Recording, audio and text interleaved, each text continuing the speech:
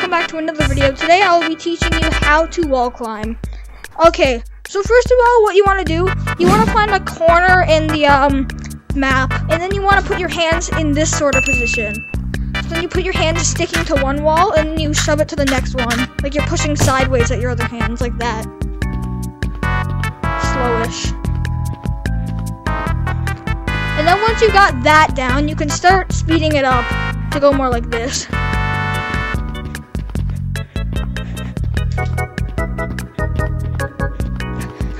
So you put your hand on like this. Then you boost yourself up like that. And then you hit your hand at the other wall. Hit, hit, hit, hit, hit, hit, hit, hit, hit, bam. I need to get up the tutorial.